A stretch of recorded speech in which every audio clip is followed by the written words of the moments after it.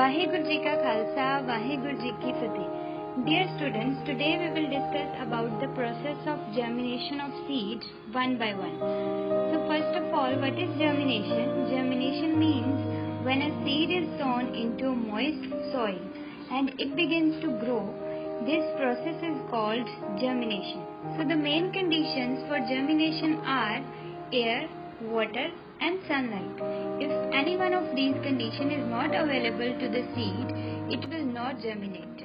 Now you can see here in this stage the seed absorbs water and seed coat becomes softened. Now the embryo starts growing inside the seed and the radicle emerges from the seed by breaking the seed coat and the radicle forms the roots and grows downward. In this stage, you can see here the plumule comes out and forms the shoot with the stem and leaves. It starts growing upwards towards the sunlight. You can see here this part is called cotyledon and as the seed germinates the cotyledon provides food to the baby plant until its leaves grow and when the leaves are formed the cotyledon shrink and disappear. And after that, leaf prepare the food for the plant and helps to grow. That is why leaf is also called kitchen of the plant.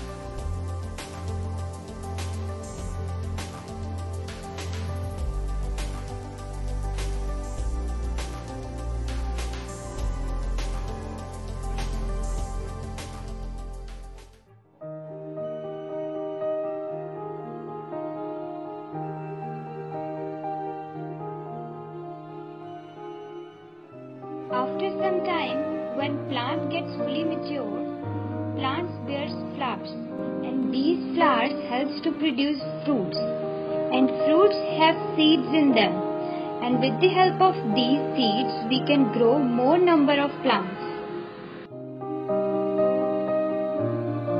This was all about germination. Vaheguru ka Khalsa, Vaheguru ki